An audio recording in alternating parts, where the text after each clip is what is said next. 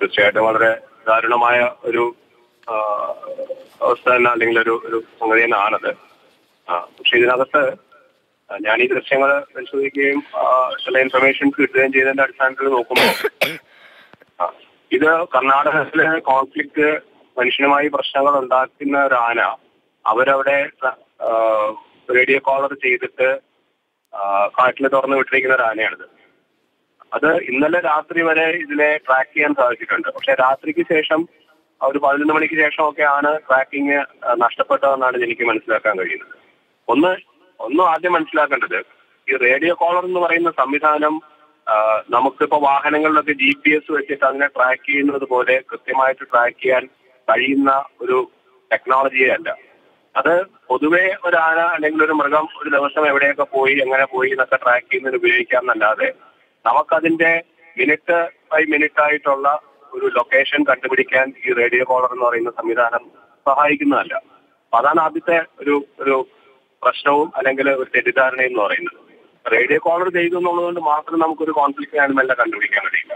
അപ്പൊ വനം വകുപ്പിന് അതുകൊണ്ട് തന്നെ ഏത് വനം വകുപ്പായാലും അതിന്റെ പരിമിതികൾ എന്ന് പറയുന്നത് രാത്രി ആയി കഴിഞ്ഞാൽ ഇത്തരം മൃഗങ്ങളെ കണ്ടുപിടിക്കാൻ കഴിയില്ല എന്നുള്ളത് തന്നെയാണ്.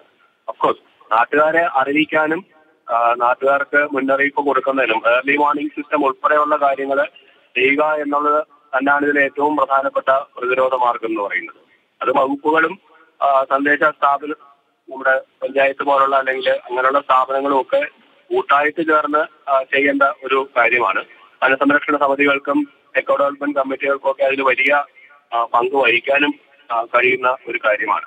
അതിന്റെ ഉത്തരവാദിത്തത്തിൽ നിന്ന് തീർച്ചയായിട്ടും വനംവകുപ്പിന് മാറാൻ കഴിയില്ല. കാരണം അത് ലീഡ് ചെയ്യേണ്ടത്. അത് അതിന് എന്താ പറയുക നേതൃത്വം നൽകേണ്ടത് വനംവകുപ്പ് തന്നെയാണ് എന്നുള്ള കാര്യത്തിൽ സംശയമൊന്നുമില്ല.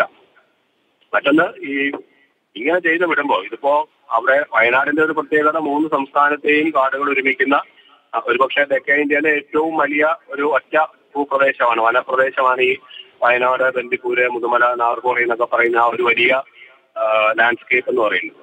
അപ്പൊ അതിന്റെ പ്രത്യേകതകൾ മനസ്സിലാക്കിക്കൊണ്ട് പ്രത്യേകിച്ച് വേനൽ കിടക്കുമ്പോൾ നമ്മുടെ ഭാഗത്ത് കൂടുതൽ പച്ചയും കൂടുതൽ വെള്ളവും ഉള്ളത് കൊണ്ട് തന്നെ കാരണം തെക്കാൻ പ്ലാറ്റുവിന്റെ തെക്കേ അറ്റമാണ് ആ ഭാഗത്ത് നിന്ന് തെക്ക് വടക്ക് ഭാഗത്ത് നിന്ന് ആണ് ഉണക്ക് കൂടുതലായിട്ട് കൂടുതലല്ല തുടങ്ങി മുന്നോട്ട് വരുന്നത്.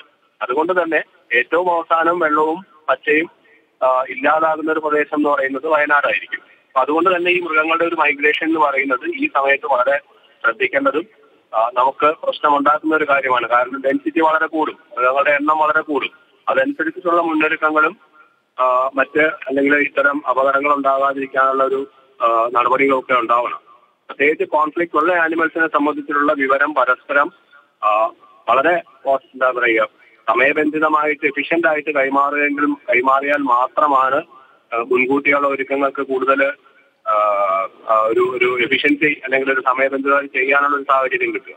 അപ്പൊ അതൊക്കെയാണ് ഇവിടുത്തെ ഒരു ഒരു പ്രധാന പ്രശ്നം. ഇപ്പൊ രണ്ടാമത്തെ ഒരു സംഭവമാണ് ആന നാട്ടിലിറങ്ങിയിട്ട് ഈ അടുത്ത കാലത്ത് തന്നെ അവിടെ സംഭവിച്ചിരിക്കുന്നത്. അപ്പൊ അത് തന്നെയാണ് നമ്മുടെ ഈ പറയുന്ന ആകെയുള്ള ഒരു ഒരു പ്ലാനിങ്ങിൽ വന്നിട്ടുള്ള പ്രശ്നങ്ങളുടെ ഒരു ഒരു സൂചന കൂടിയാണ്.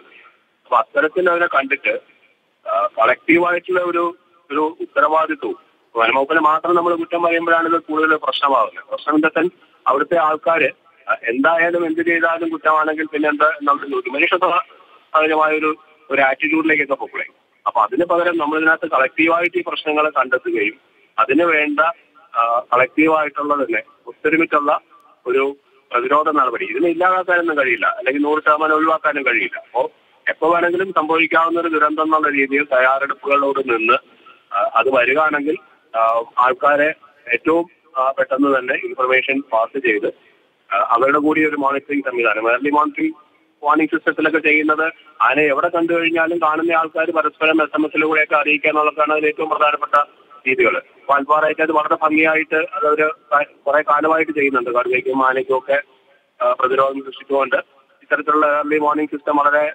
എഫിഷ്യന്റ് ആയിട്ട് അവരവിടെ ചെയ്യുന്നുണ്ട്.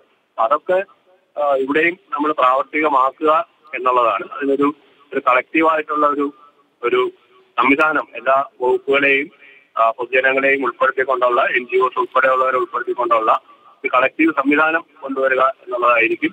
അല്ലെങ്കിൽ അതാണ് വേണ്ടത്. ഈ ഒരു വിഷയത്തിൽ അത്തരത്തിലുള്ള ഒരു ആശയവിനിമയത്തിന്റെ ഒരു കുറവും അല്ലെങ്കിൽ ശരി വളരെ നന്ദി. ശ്രീ ഡോക്ടർ ഈശ്വരൻ പ്രതികരിച്ചതിന്